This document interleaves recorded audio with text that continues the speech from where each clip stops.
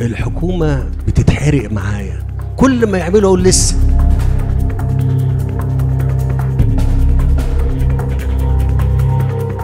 طب بتتحرق ليه؟ عشان ما تتحرقش مصر.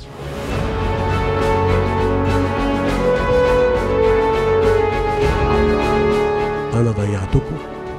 قدمت نفسي بالجيش فدا لمصر كان عندكم مشاكل في الطاقة وفي في الوقود و... خلصت؟ ولا الكهرباء لسه بتتقطع؟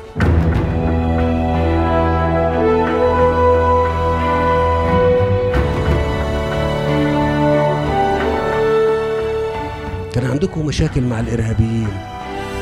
قتلوا أبنائنا. سبناهم وضيعناكم. أبنائكم ضحوا من أجلها عشان هي تستقر.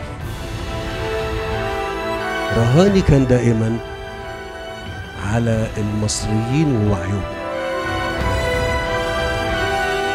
راهنت على شعب كاستعداد لتحمل تكاليف الإصلاح.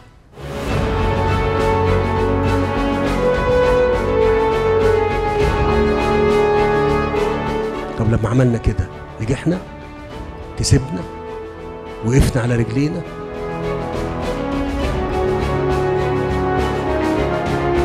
هنعمل بفضل الله. كل شيء جميل لبلدنا لما الدنيا هتحتار في اللي إحنا بنعمله.